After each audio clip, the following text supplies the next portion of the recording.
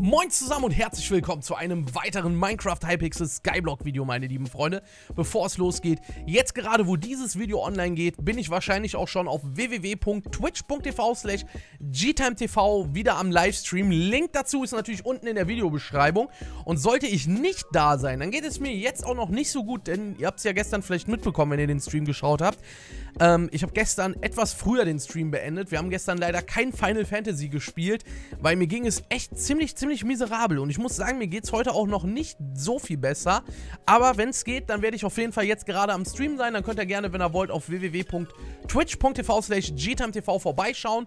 Und ich würde sagen, wir fangen jetzt auch mal mit dem an, was wir eigentlich besprechen wollten. Denn für euch habe ich heute einen wunder, wunderbaren Verzauberungsguide im Petto. Denn da haben ganz viele Leute nachgefragt, die haben gesagt, ey Kevin, oder bei mir auch im Livestream, Kevin, wie sieht das eigentlich aus? Was sollte ich am besten auf mein Schwert verzaubern, Kevin? Was sollte ich am besten auf meine Spitzhacke verzaubern? Was soll ich mir auf die Rüstung verzaubern? Und, und, und, und, und. Ich möchte aber sagen, bevor es jetzt losgeht, erstmal, das, was ich euch jetzt zeige, sind nur meine Empfehlungen. Dann, es gibt noch bessere Verzauberungen, die man erreichen kann in bestimmten Bereichen, ja. Ähm, es kann sein, dass ich euch jetzt zum Beispiel irgendwie sage, das ist die beste Verzauberung und das ist gar nicht die beste, weil, und jetzt kommt das Weil, es gibt Verzauberungen, die könnt ihr im Schwarzmarkt für viel Gold kaufen. Die werde ich euch aber jetzt an der Stelle erstmal nicht empfehlen, weil ich gehe jetzt einfach mal davon aus, dass ihr Spieler seid, die jetzt noch nicht so lange in Skyblock sind und noch nicht so viel Gold habt, dass ihr euch das mal eben leisten könnt. Vor allen Dingen diese Verzauberung würde ich mir, wenn, wirklich nur für die ultimative Rüstung kaufen. Ja, vorher macht das in meinen Augen keinen Sinn. Deswegen zeige ich euch jetzt erstmal nur Verzauberungen, die ihr über den Enchanting Table bekommen könnt. Und es kann sein, dass ich bei manchen Verzauberungen auch nicht ganz genau weiß, was die machen, aber ich weiß, dass die drauf können, ja? Also, es sind nämlich ziemlich viele Verzauberungen, Leute, und das ist echt viel, was man sich merken muss. Deswegen, also verzeiht mir, wenn da ein paar kleine Fauxpas drin sind. Ich versuche euch das aber alles jetzt so gut es geht zu erklären. Aber ich muss jetzt erstmal ganz kurz einmal hier dran, genau, dann nehmen wir nämlich das noch mit raus, das nehmen wir mit raus und das nehmen wir mit raus. Und ja, okay, die können wir jetzt hier erstmal drinnen lassen. Okay, passt. So, und dann würde ich sagen, fangen wir jetzt einfach erstmal mit dem Bogen an, ja? Dem Bogen. Mit dem fangen wir jetzt erstmal an. Äh, da fehlt eine Verzauberung, das ist Impaling. Die solltet ihr auch drauf machen. Da macht ihr einfach an Seekreaturen mehr Schaden. Brauche ich, glaube ich, jetzt nicht weiter ausführlich zu erklären. Und ja, dann würde ich sagen, von oben nach unten, Aiming ist eine Verzauberung, die macht, dass eure Pfeile wie, ja, als wenn ihr ein Aimboard habt, auf die Gegner losfliegen. Ist ziemlich OP. Solltet ihr auf jeden Fall gucken, dass ihr Aiming 5 drauf kriegt. Wenn ihr einen Bogen habt und den verzaubert, dann auf jeden Fall Aiming 5 drauf. Ähm, als nächstes haben wir Kubism. Das macht einfach mehr Schaden an ähm, Slimes, sage ich jetzt mal. Ja, also an viereckigen Gegnern. Magma-Slimes normale Slimes, ja, den macht ihr mehr Schaden. Dann haben wir Flame, kennt man ja. Infinity Quiver macht, glaube ich, dass man aus dem Quiver heraus die Pfeile manchmal nicht verbraucht, wenn man schießt. Piercing macht, dass die Pfeile einen Durchschuss haben. Das heißt also, ähm, ein Pfeil kann durch den Gegner durchfliegen und den hinteren treffen. Power 5 erhöht den Schaden. Punch 2 macht, dass der Gegner zurückgestoßen wird. Kennt man ja aus Vanilla Minecraft. Snipe 3 Snipe macht, glaube ich, je weiter ihr wegsteht vom Gegner, umso mehr Schaden richtet euer Pfeil an. So war das, glaube ich. Je weiter ihr wegsteht, umso mehr Schaden macht ihr. Und Telekinese macht das, wenn ihr einen Gegner tötet, die Items sofort bei euch im Inventar landen. Ja, und wie gesagt, Impaling fehlt noch auf dem Bogen drauf. Ja, das musste ich noch drauf machen. Das werde ich auch irgendwann machen, aber ich habe es jetzt nicht für so ultra wichtig erachtet, dass ich das sofort drauf haben musste. So, dann habe ich hier eine Hacke. Auf der habe ich Harvesting 5 drauf, da steht es ja auch schon. Ähm, das gibt eine 62,5%ige Chance, dass wir doppelte Crops kriegen. Also das heißt, wenn ihr auch Kartoffeln oder so abbaut, dann kriegt ihr mehr Kartoffeln raus und so. Lohnt sich auf jeden Fall. Dann habe ich noch Telekinese drauf, einfach für, ähm, dass die Sachen direkt im Inventar landen, ja. Mehr braucht man eigentlich auf einer Hacke nicht verzaubern. Das beides reicht. Dann haben wir hier eine Spitzhacke. Äh, das ist jetzt eine Diamant-Pickaxe. Man kann natürlich auch eine Gold-Pickaxe nehmen, die ist nochmal einen Ticken besser. Das lohnt sich so sowieso in äh, Skyblock, also deswegen auch nochmal von mir der Hinweis am Rande. Eigentlich sind die besten Gegenstände, die ihr euch machen könnt, Goldgegenstände, weil die bauen schneller ab als Diamant. Und in Skyblock lohnt sich, äh, Skyblock, ja, alles klar, Kevin, in Skyblock. In Skyblock lohnt sich das auf jeden Fall, weil ähm, auf dem Hypixel-Server in Skyblock haben die Items keine Haltbarkeit. Die gehen nicht kaputt, deswegen lohnen sich auf jeden Fall die Goldsachen eigentlich mehr. Aber ich hatte mir damals diese Diamond Pickaxe gemacht und jetzt benutze ich sie einfach, also halb so wild. Natürlich haben wir hier auf jeden Fall Effizienz 5 drauf. Ganz wichtig für die Spitzhacke, ja. Effizienz 5 auf jeden Fall, Experience 3, da kriegen wir mehr Erfahrung mit raus, ja. Das heißt also, wenn ihr Erze abbaut, gibt es auf jeden Fall schon mal ordentlich XP mehr. Fortune 3 für erhöhte, ähm, für, für mehr Drops, ja. Das heißt also, wenn ihr zum Beispiel Emeralds oder Diamanten abbaut, dann kriegt ihr mehr aus den Erzen raus. Auch ganz wichtig, wenn man irgendwelche Sachen sich zusammenfarmt und es was schneller gehen soll. Smelting Touch macht, dass ihr, wenn ihr zum Beispiel Gold oder Eisen abbaut, die Sachen sofort, ähm, ja, geschmolzen sind, dass Barren rauskommen. Ich glaube sogar, dass Smelting Touch und Fortune zusammen funktionieren. Heißt, wenn ihr Eisen abbaut und da kommen Barren raus, dann kriegt ihr mehr Barren, je nachdem, wenn ihr Fortune drauf habt. Ich bin mir aber jetzt nicht zu 100% sicher, ob die Kombination wirkt. Ich meine aber ja, Telekinese Telekinese brauche ich ja nicht wieder erklären, ne? Sachen landen direkt im Inventar.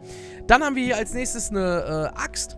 Da habe ich jetzt Effizienz 5 und Telekinese drauf. Man kann auch noch, wenn man will, Silk Touch mit reinnehmen. Das habe ich jetzt auf dieser Axt nicht drauf. Und das war es eigentlich auch schon. Mehr braucht man nicht. Dann wird es auch wieder was interessanter, denn wir haben jetzt hier ein Schwert. Und auf dem Schwert können einige Verzauberungen drauf und da sind einige auch ziemlich, ziemlich wichtig.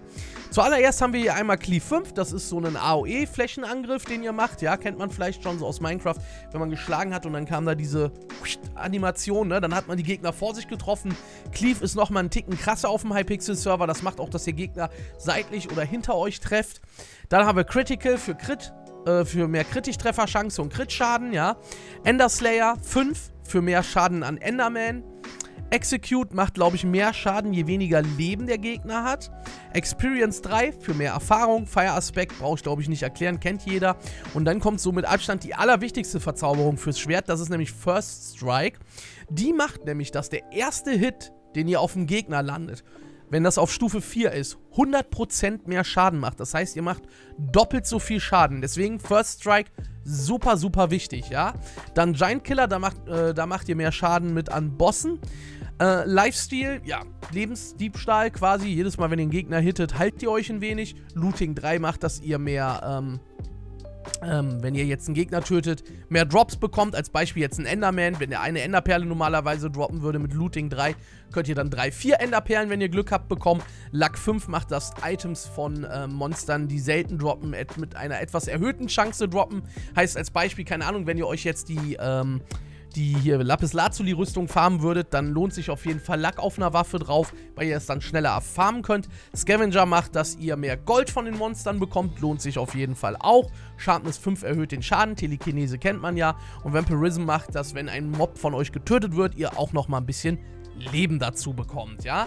So viel also auch jetzt zum Schwert. Dann fangen wir an mit der Rüstung. Ähm, da haben wir jetzt einmal Growth 5 drauf. Das macht, dass ihr mehr Leben habt. Ja, seht ihr auch 75 Leben mehr. Ich glaube, es gibt sogar Growth 6 im Schwarzmarkt. Ich bin mir jetzt aber nicht sicher. Dann haben wir hier Protection 5. Ich meine, da gibt es auch Protection 6 im Schwarzmarkt. Das gibt 15 Defense mehr. Respiration 3, Sons 3, ja, kennt man alles aus Vanilla. Hier fehlt noch Aqua Affinity auf dem Helm. Das muss ich auch noch drauf machen, ja. Also ihr müsst euch quasi eigentlich fast wie in Vanilla euren Helm verzaubern, nur dass ihr noch Growth 5 mit dazu nehmt, ja. Auf der Rüstung auch wieder dasselbe Beispiel, ne? Oder dasselbe Spiel. Protection 5, Sons 3. Macht man ja auch in Vanilla so, ne? Und dann Growth 5, ja. Dann auf der Hose dasselbe wie bei der Brustplatte. Growth 5, Protection 5, Sons 3, ja. So, die Schuhe, da gibt es wieder ein bisschen mehr. Deep Strider 3 haben wir drauf. Feather Falling haben wir drauf, ja. Growth 5 auch wieder für mehr Leben. Protection 5 für mehr Verteidigung. Und Sons 3. Ich glaube, das ist auch soweit alles, was man auf die Schuhe machen kann. Ähm, ja, man kann auch Frostwalker drauf machen. Ähm, aber dann könnt ihr, glaube ich, keinen Deep Strider mit drauf haben. Das ist das Problem. Ihr solltet euch aber auf jeden Fall Frostwalker Schuhe einmal machen. Denn wenn ihr in der Ice Collection hochkommen wollt, müsst ihr einmal Schuhe mit Frostwalker haben. Mit denen müsst ihr über Wasser laufen. Und das Eis müsst ihr dann, was dann entsteht, mit einer Protection, äh, mit einer Protection sage ich schon, mit einer Silk Touch Spitzhacke abbauen, damit ihr die Collection so weit gelevelt kriegt, dass ihr euch quasi das Eis Minion machen könnt, ja? ich glaube, das ist soweit auch alles gewesen. Ich hoffe, ich habe nicht irgendwas vergessen. Falls ja, ihr könnt mich natürlich gerne in den Kommentaren äh, korrigieren. Ähm, wenn ich einen Fehler gemacht habe oder irgendwas falsch gesagt habe, dann war das natürlich nicht mit Absicht, ja. Aber ich meine, das ist soweit alles, was man wissen muss. Tut mir leid. Und ja, mehr gibt es eigentlich, glaube ich, zu der ganzen Verzauberungsgeschichte gar nicht mehr zu sagen. Jetzt wisst ihr Bescheid, ja. Ähm, es ist auch so bei den Verzauberungen, dass ihr nicht für alles den Enchanting Table auf Stufe 64 oder 60 haben müsst. Ihr könnt auch manche Sachen, äh, für manche Verzauberungen, könnt ihr den Enchanting Table runterstufen. Es gibt einen Wiki für, ähm, für Skyblock vom, vom Hypixel Server. Da steht das auch drin, welche, ähm, welche Zaubertischstufe ähm, für welche Verzauberung empfohlen wird. Am besten einfach mal in Google eingeben, weil ich habe jetzt den Link gerade nicht zur Hand. Wenn ich dran denke, packe ich euch den in die Videobeschreibung. Es kann aber passieren, dass ich es vergesse. Ähm, ansonsten in Google einfach mal Hypixel Skyblock Wiki eingeben, dann findet ihr das direkt, ja? Dann könnt ihr da auch nochmal gucken wegen den Verzauberungen. Und dann würde ich sagen, ich bedanke mich, dass ihr das Video geschaut habt. Ich hoffe, dass ich euch weiterhelfen konnte und dass euch das Video gefallen hat. Falls ja, lasst doch gerne positive Bewertungen, genauso auch Feedback in den Kommentaren da. Und wenn ihr es noch nicht getan habt, haut ein Abo raus und immer schön dran denken, Glocke an, Ehrenmann. Und dann würde ich sagen, sehen wir uns im nächsten Video, was heute um 18 Uhr kommt wieder. Oder im Livestream auf www.twitch.tv slash gtantv. Bis dann, macht's gut. Tschüss zusammen.